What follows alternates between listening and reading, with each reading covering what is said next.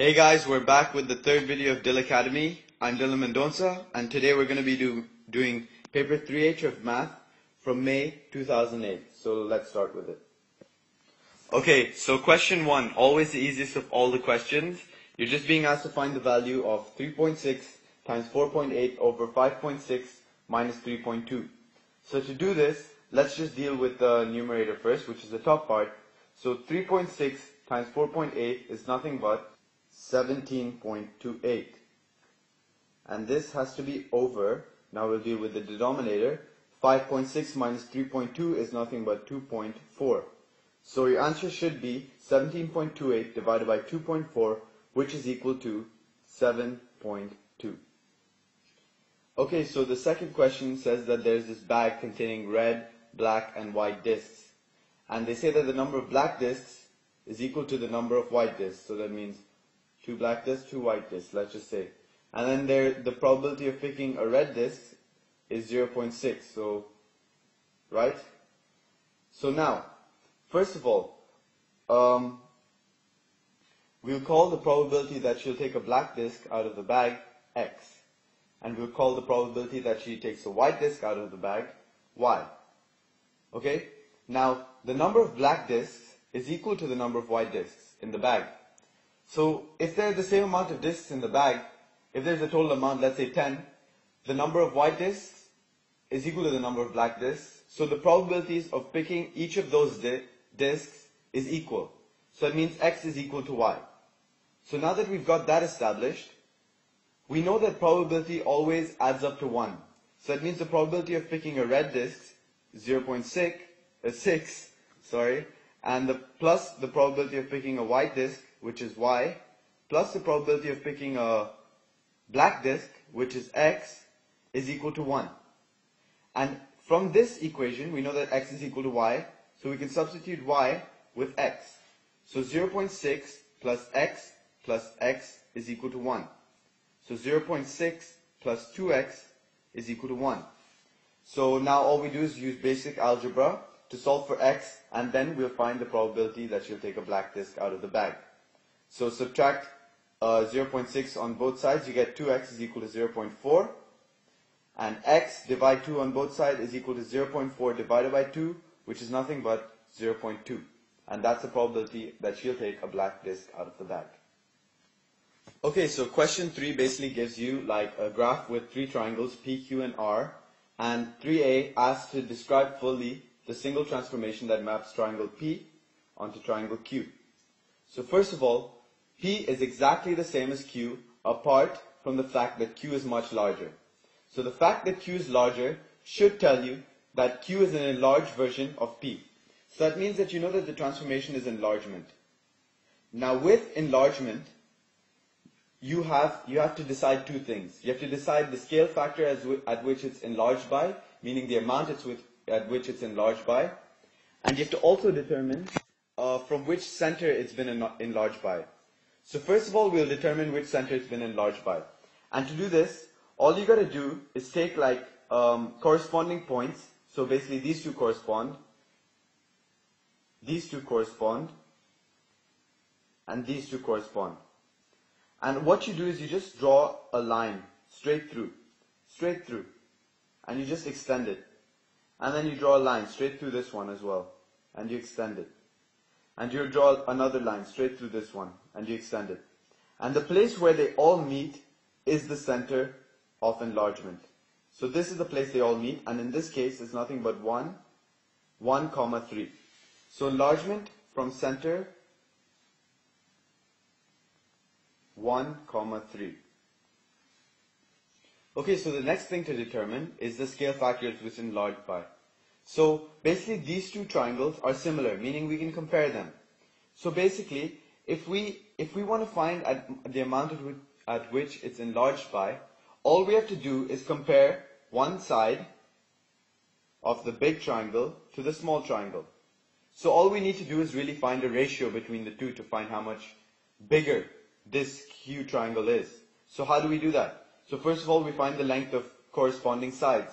In this case, the length of Q is over here, it's 4 because it's 9, 9 minus 5.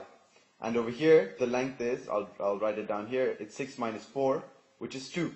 So the length of the bigger side is 4, and the length of this, uh, the length of the bigger triangle is 4, and the length of the smaller triangle is 2. So all we gotta do is write a ratio, basically, all we have to do is divide the bigger side by, uh, of the bigger triangle by the smaller triangle. So all you do is 4 divided by 2, which is equal to 2.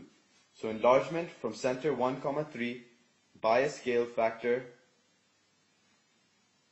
scale factor of 2. And that's it.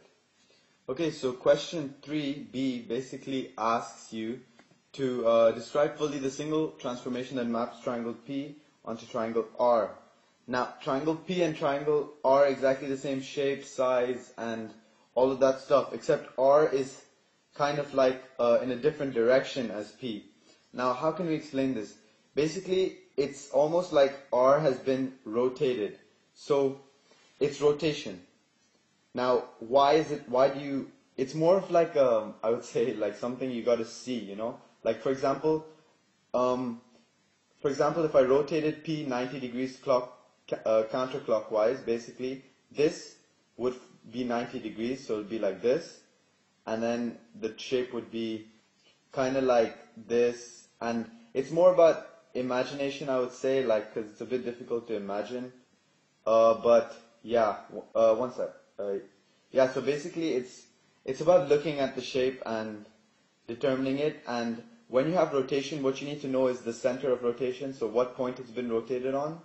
In this case, these points are both like on the same, uh, these points, these corresponding points are on the, uh, the shape still lies on the same point, meaning it should have been rotated on that point. So it's rotation on 4, comma 4, uh, oh, I'm really, really sorry. One of my silly mistakes again. I didn't see the shapes really properly. Um, okay, yeah, so I'll start from the beginning. Basically, R is kind of like, uh, it's in a different direction to P. So, first of all, what you need to do is, you need to look at the points. So, in this case, let's label all of these points. Let's call them, this is 4 comma 6. This is, uh, 3 comma 4, sorry. And these two are 4 comma 4 and this one over here is 4 comma um, 3 and this last point on the edge is 6 comma 4 now basically this point corresponds for both of them this point corresponds to this point and this point corresponds to this point now do you notice something interesting like the corresponding points the y and the x has just flipped over uh, meaning they've swapped spots. So instead of 4 comma 6 in, in P, it's 6 comma 4 in R. So what does that tell you? That actually tells you that it's a reflection. So now, what you have to determine is on what line it's been reflected. And basically, that can kind of seem kind of obvious. It, it has to be reflected on a slanting line. Because if it was like, let's say, reflected on a straight line, right? P would just be like this. It would be like the same shape. Or if it was reflected on a horizontal line, P would kind of be like uh, this or something like that. But in this case, it's like um, it's been uh, like oriented differently, and it's not been oriented straight or sideways. It, has been uh, oriented both straight and sideways, meaning it should have been uh, on y equal to x. So it's reflection on the line y equals on y equal to x. Also another reason why it's y equal to x is because if you notice this point 4 comma 4 it didn't change like basically it stayed the same as it was. Like if it was uh, if p was on 4 comma 3 it would have become 3 comma 4 that's what I'm saying. So that means the line must have passed through that point. And that's why that point stays constant for both of them. Again, sorry if I don't explain this perfectly. It's a bit difficult to explain because it's more about like looking at the shape and like understanding. And yeah, so if you have any questions, just post them in the comments below. Okay, so the fourth question is basically ratios and they're saying the ratio of the weight of copper to the weight of tin is 3 to 1. You have to work out the weight of copper in 280 grams of bronze. And they say bronze is made of copper and tin, sorry. So, in basically like, let's say a copper in a bronze bar. So there's some tin and there's some copper. This side is tin and the white side is copper. So, basically, the amount of um, copper to tin is 3 is to 1. Right? Now, that means that 3 out of 4 parts of the whole bronze um, bar is made out of copper. And this is because um, it's made out of 4 parts in total, and out of that, 3 of them are copper, so 3 out of 4. Okay? So now all we, we have like the fraction of uh, copper in the bar. All we need to do is multiply this fraction by the mass to find the mass of copper. So it's just 3 over 4 times 280, which is nothing but 210 grams of copper in uh, 280 grams of bronze. Question 5, you're given um, a, uh, basically, uh, it's about sets, and uh, this, not, this, I'll explain each set separately. Basically, this sign is uh, all of the numbers possible in the question, and it, it says that it's all odd numbers. Uh, set A is um, says 1, 5, 9, 13, and 17. Those are the elements. Set B has a certain amount of elements, and set C has a certain amount of elements. Now A1 is asking to list the members of the set of A intersect B. This upside down U is nothing but intersect. And what intersect means is uh, what they have in common. So all you have to do is look at A and B and decide what they have in common. Now if you look at it, they have 1 in common, so write 1 down.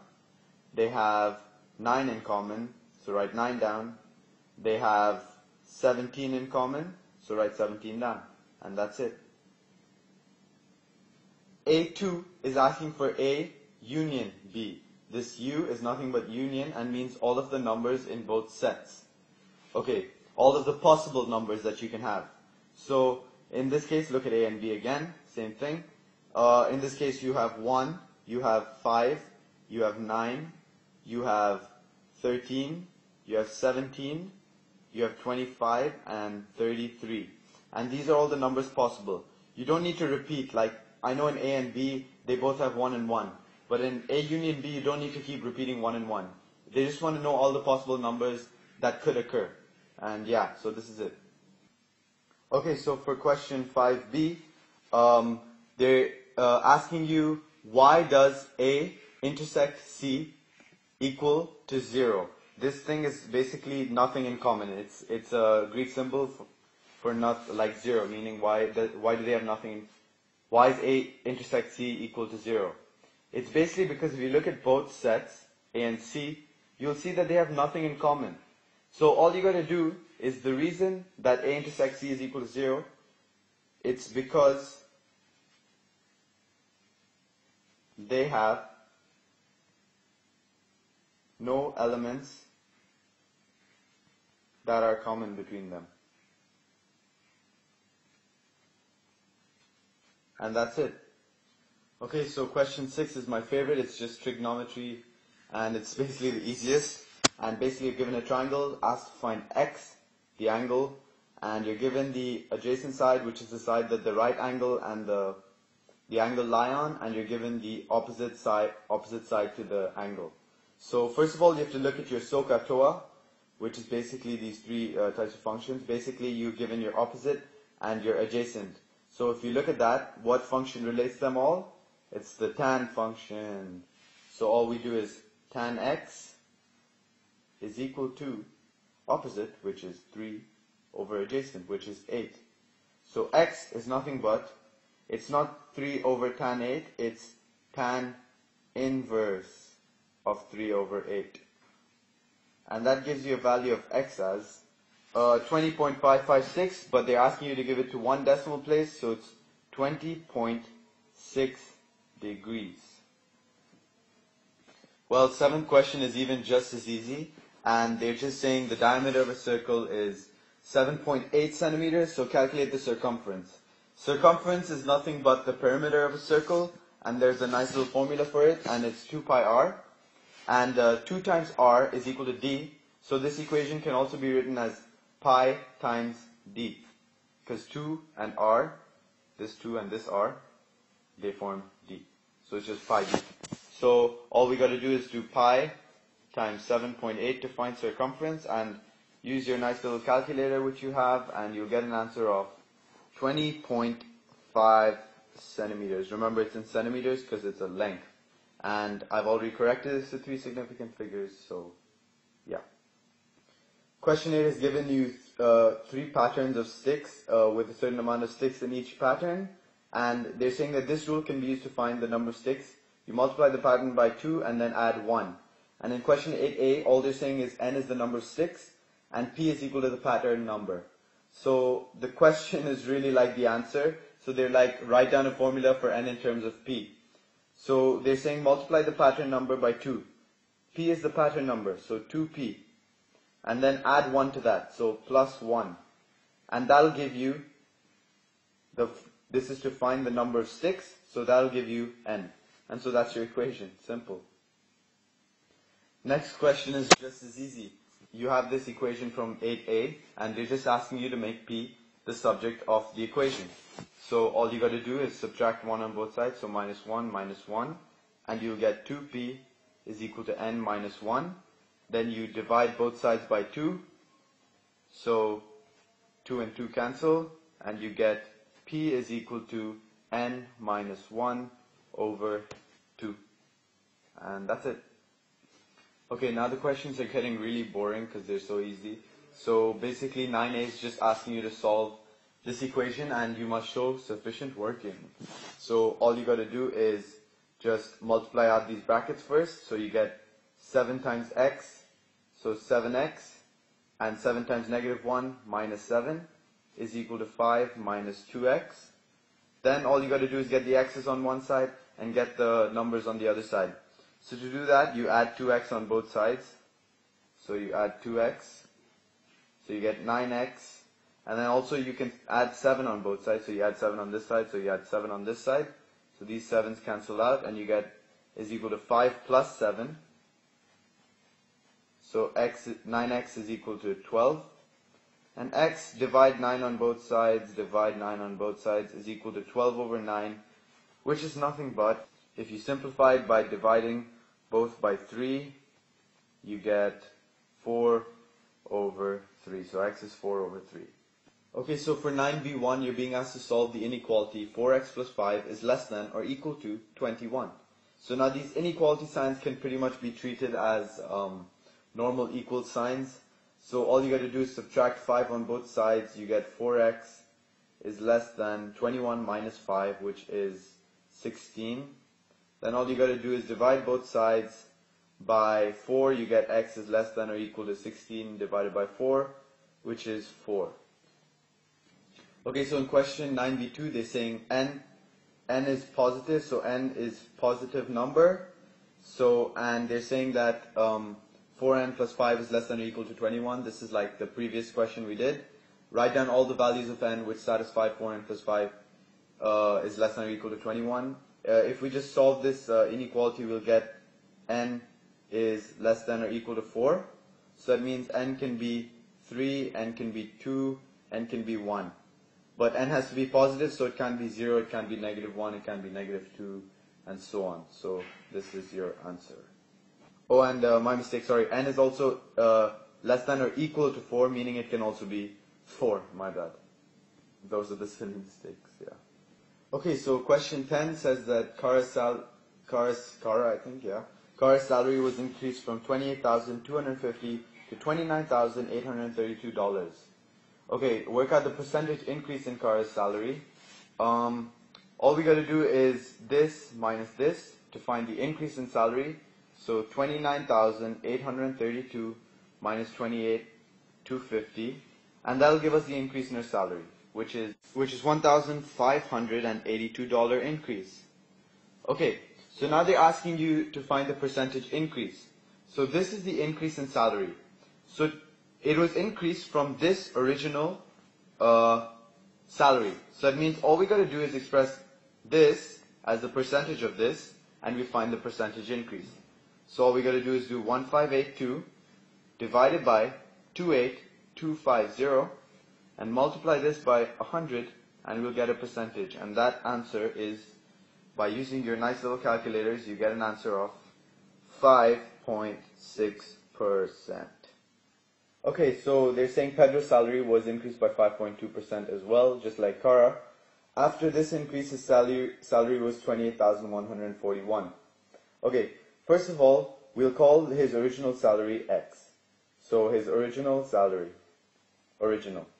Okay, next, his add, his, uh, the amount added onto his original salary is nothing but 5.2 divided by 100 times X, right? So that's his, that's the amount added on. So his original salary plus the amount added on should give me his new salary. So just put this in an equation. So you get x plus 5.2 divided by 100 times x should be equal to 28,141. So x plus 0.052x should give me 28,141. Now all you do is solve for x to find the original salary. And so this is 1x, and so it becomes 1x plus 0.052. x gives you 1.052x is equal to 28,141. Divide both sides by 1.052, you'll get x to be $26, 26,750. Okay, so we're finally done with part one of paper 3H from 2008 of May. So please watch part two and comment, rate, subscribe, comment if you have any questions. Thanks a lot. I'm Dylan Mendonca and yeah.